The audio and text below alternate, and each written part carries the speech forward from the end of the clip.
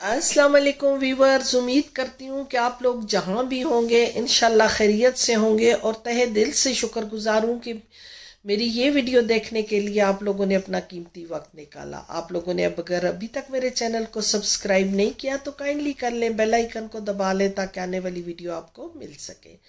Istiklal street दोबारा जाना हुआ और मैंने कहा, चले, आज दिन की वीडियो बनाती हूँ। पहले तो रात को बनाई थी, अब दिन की मैंने कहा, बना लेती हूँ। रश उतना नहीं है जितना रात को होता है। ज़्यादातर इस्तकलाल स्ट्रीट पे या इस यहाँ रश रात को होता है। ये ट्राम है, लेकिन पता नहीं है कि इसका तरीका कार क्या है तो अभी तो हम पैदल ही चलते चलते गलाटा टावर तक जाएँगे। ये मैदान है और यहाँ ये कबूतर होते हैं, लोग आते हैं, कबूतरों को खाना देते हैं और यहाँ लोग खाना लेके खड़े होते हैं, वो बस आप उनसे ले लेते हैं जहाँ उनका मर्ज़ी हो आपसे पैसे ले लेते हैं। बीस से शुरू होते हैं, एक छोटा गिलास जो डिस्पोजेबल गिलास होता है, वो गंदम के दानों का भर के देते हैं और बीस लीरा तकरीबन या कोई तीस भी ले लेता है आपसे। और ये जो है, ये एक इंटीक शॉप है यहाँ। इस पे ये पुरानी चीज़ें और पुरानी तस्वीरें वगैरह रखी हुई हैं। इस्तकलाल स्ट्रीट जो है, ये टूरिस्ट प्लेस है। जो स्याह यहाँ आते हैं, वो इस्तकलाल स्ट्रीट ज़रूर आते हैं और मैदान भी ज़रूर आते हैं। यहाँ होटल्स बहुत ज़्यादा हैं।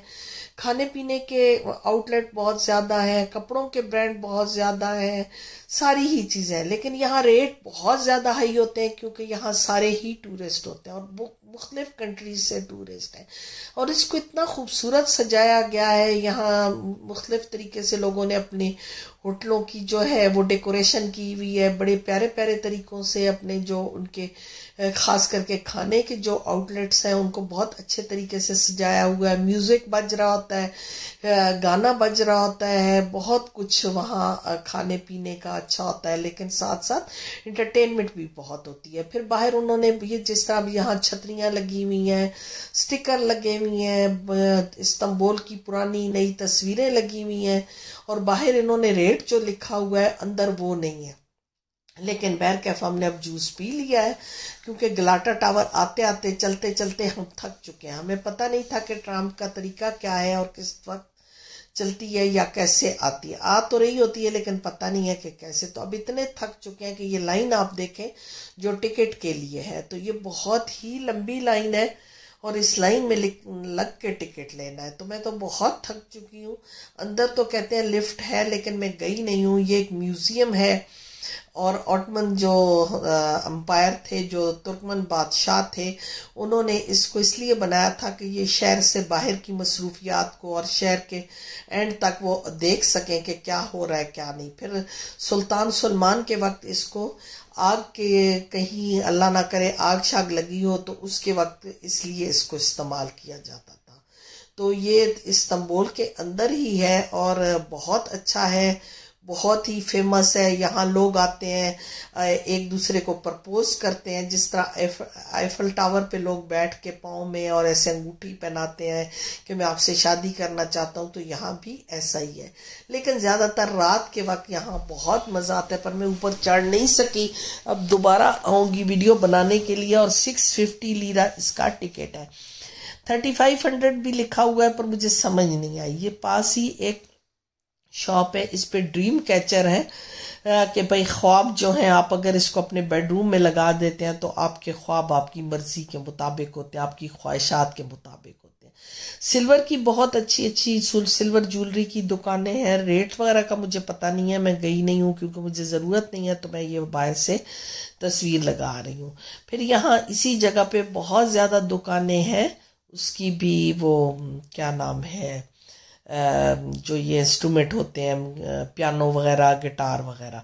ट्राम पे हम बैठ तो गए हैं, लेकिन मसला ये हुआ है कि मैं वीडियो चढ़ते वक्त नहीं ले सकी कि पता नहीं था कि ये टिकट है या इस्तंबोल कार्ड है। तो इस्तंबुल कार्ड हमारे पास था तो उन्होंने कहा जल्दी से चढ़े।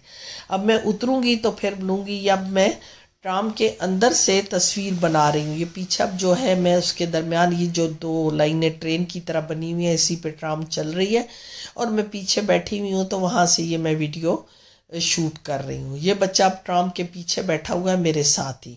अब यहाँ जो ट्राम रुकी है मैदान में आके और ये मैदान जो है, ये बिल्कुल ही इसको मैदान कहते हैं कि ये बड़ा सा एक मैदान है। शायद मैदान फ़ारसी में भी मैदान है और अरबी में भी तो पता नहीं क्या है, लेकिन तुर्की में भी ये मैदान है और उर्दू में भी मैदान है।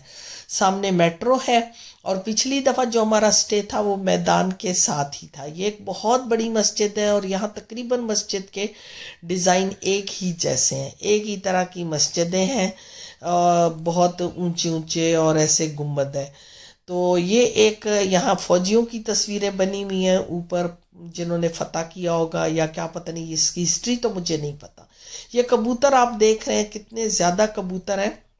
और कबूतरों का खाना लेके यहाँ लोग बेच रहे होते हैं। एक छोटा डिस्पोजेबल गिलास जो प्लास्टिक का होता है, वो बीस लीरा का इन्होंने हमें दिया था और हमने भी इनको डाला, लोग भी डाल रहे होते हैं। और कबूतर डरते भी नहीं हैं, लोगों के साथ बैठे हुए हैं, लोग इनके साथ फ़ोटो बना रहे हैं, इनके अंदर फिर रहे हैं और ये भी बहुत खुश हैं। इसी तरह खाना काबा में भी आपने देखा होगा कि कबूतर चौक है और वहाँ भी बहुत ज़्यादा कबूतर होते हैं। तो वहाँ भी लोग इनको खाना डालते हैं। खैर, यहाँ भी बहुत कबूतर हैं और यहाँ फॉरनर्स बहुत ज़्यादा होते हैं। हर जगह से फॉरनर्स यहाँ आते हैं। अब ये हम मेट्रो की बेसमेंट से जा रहे हैं। क्योंकि अब हमने वापस जाना है और ये हमने लेवेंट पे निकले हैं। ये लेवेंट की एक फ़ोटो है जो वीडियो है, ये लेवेंट की है। उस दिन रात को मैंने यहाँ की लगाई थी। तो अब हमने जाना है अपने घर की तरफ़ और यहाँ से हम बस पे जाएँगे। लिमिट इनका एक पोश एरिया है और बहुत अच्छा एरिया है।